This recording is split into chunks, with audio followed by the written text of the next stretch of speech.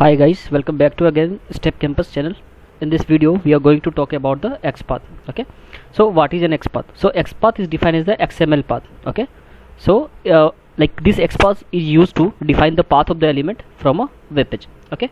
So this xpath what we are doing with this xpath so we have uh, we have to find the locator right? So with the help of this xpath we are finding the locator and perform a definite action on that uh, element okay?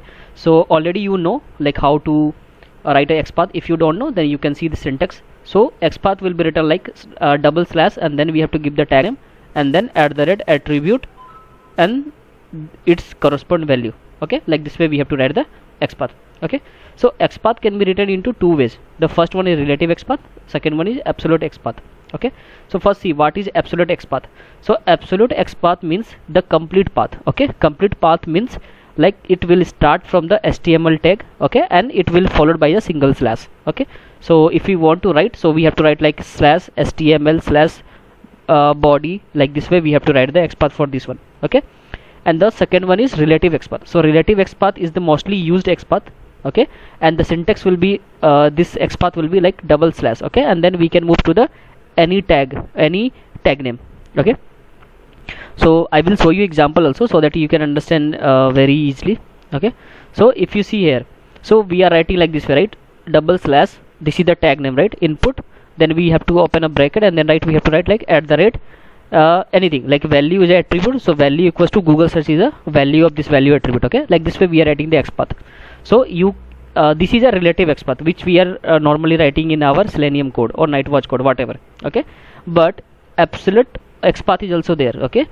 Which is uh, starting from the single slash and then we have to start from the html tag okay?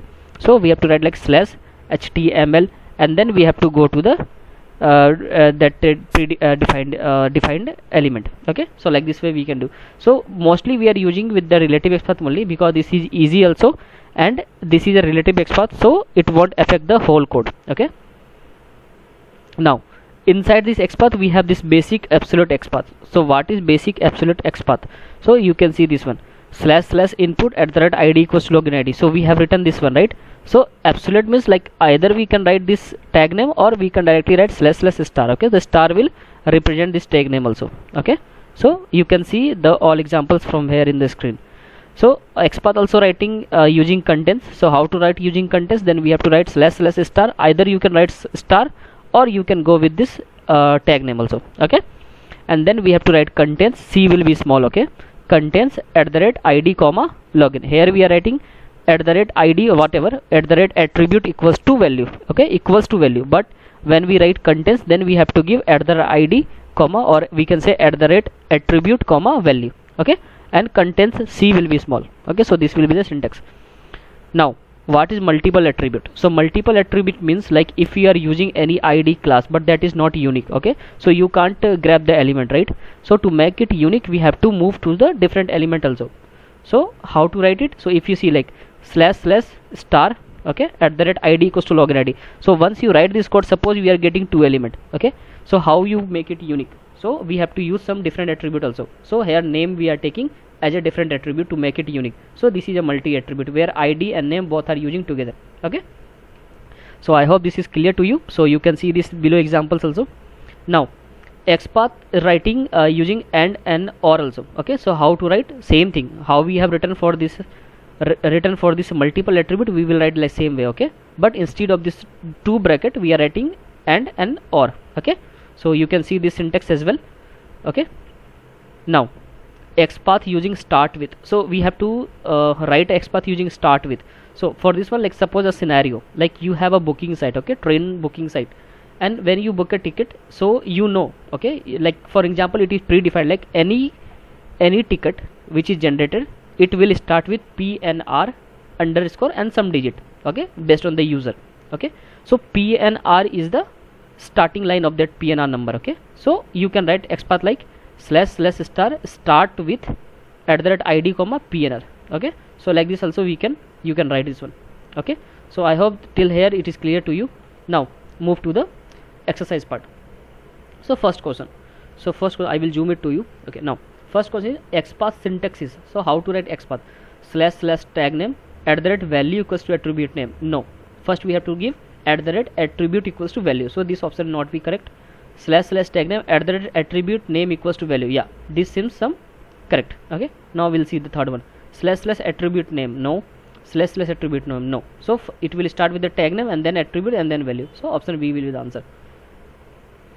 Now second question. Which of the following syntax is correct for multi-type XPath okay multi-type XPath okay? So multi-type means like we have to write two XPath so this is one XPath at the rate value equals to attribute no every time it should be at the attribute equals to value. Okay so first option is not correct. Now attribute equals to value attribute 1 equals to value 1 and slash slash start. So this is a correct one. Okay so we will make it correct. But see uh, see the second option also. So slash slash no we directly not uh, we can't write directly slash slash tag okay? So we have to write slash slash then we have to give first tag name and then we have to give this value. That's why it is not correct. And again for this one attribute equals to value comma we are not, not writing okay for the multiple XPath so this is also not correct. So option b will be the answer. Uh, which of this syntax is correct for the absolute XPath so if you see see uh, I have told you about the absolute XPath but I didn't give you example right? So you can see the example from here okay. So absolute XPath means if you see so it will start with the html okay as we have discussed in the lecture. So slash html2 so this is not a correct because it is starting from the html but we are directly jumping to the second element so this is not the answer. Absolute means starting from the first element okay? And then we have to move correspond okay? Without skipping any line. So this is not correct. Double uh, double slash is not a absolute. It is a relative. So this is also not correct. Slash slash not correct because it's a relative one. Now slash html slash body slash div slash input. So this we are following some sequential order right? So this will be the correct. So we have to move to the first html then body then div then input. So this is a absolute XPath okay so i hope this is clear to you. Now which of the following syntaxes is correct for the start with? Okay so start with and this value. Okay so how we are writing? We are writing so you can see here. So for writing uh, uh, the x path for this one so we have to write slash slash then tag name. So tag name is not there. So it is not correct. This is also not correct. So slash slash star. If the tag name is written there then we can think about this one either it is correct or not. Okay but we have to give the tag name. If not tag name then we have to make it star. So option d will be the answer. Okay? Now uh, we have some other example also like other types of xpath also. So xpath using access method. Access method means uh, it will consist of these lines like following ancestor child preceding following sibling parent self and descendant. So these are the access method for the writing the xpath okay. So we won't directly go to this one okay? Like no need to think very much about this one. Just see the syntax okay so because we are uh, like we are rarely using this in our code also okay? So we will see for the uh, mcq so we just just see the syntax how we are writing okay? So following. Following means like it's a current one okay? It's a current one. So if you see this one so we have to write slash slash start at the rate name equals to username and then we have to give slash slash following okay? Following and then we can give any value. So see this two columns we have to write. Either you have to write for following or you have to write for ancestor whatever you will write. So double colon should be there. And some and then you can give any attribute or value name okay? So okay so this is a value name okay? This will be a value name okay? So this is the writing for the following. Now ancestor and parent okay? So you can uh, like you already know about the ancestor and parent. So ancestor like uh, whenever it comes uh, uh when you whenever you see the ancestor then first thing probably that comes to your mind is grandparents and their parents. So same thing here happening also in the html okay? So how to write for the ancestor? Don't go about these things okay? So i have written this for the notes purpose only. But yeah for mcq purpose you can directly see how we are writing the syntax. So slash slash star at the rate name equals to uname. So this is the first xpath okay? And then slash slash ancestor and then two column then table okay? I, any any attribute name or value name you can write here. So this is for the ancestor and same thing same thing till here. But we are replacing ancestor with parent and then we giving any another value. So like this way we have to write. Whether it will be ancestor then we are writing slash slash ancestor. If it is a parent then slash slash parent. Or if it is a following then slash slash following. Okay? So just see this syntax only. Okay? It will come in the mcq like this way only. Now okay. Child and descendant. Okay? So uh, we can see child and descendant. Descendant means child child child. Okay? So syntax if you want to see so for descendant it will be slash slash descendant and t body. And for child slash slash child and uh, colon. Okay? In in all the, there are two bit uh, there are there should be two columns. Okay? So slash slash descendant and two colon and some value. Again slash slash child two colon and then some value. Okay? This is for child. Okay? Preceding same thing. Slash slash we have to write preceding and then two colon and then any value okay? So this is a very easy thing okay? No need to worry about uh, this syntax. And now the last one self. Self means the current node okay? Self means the current just remember this point. Self is used for the current node. You will get a mcq based on this self okay? Now now the next one is following sibling. Same thing slash slash following sibling. See following sibling following hyphen sibling okay? So we are writing slash slash following hyphen sibling and then two colon and then the value okay?